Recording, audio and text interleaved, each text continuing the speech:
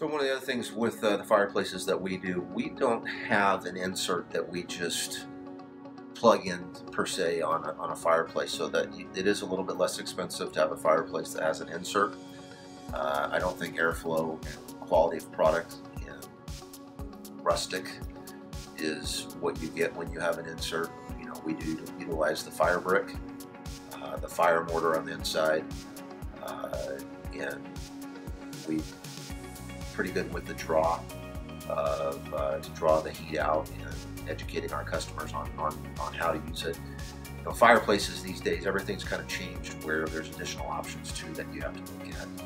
Uh, when we go out to a fireplace, one of the first things I have to ask is if there's going to be a TV in it. If there's a TV, we used a, a, a recessed area for the TV. And then we also have to factor in our mantle. We want to have either a stone or a wood mantle, which along with the recessed TV box will keep the TV from melting.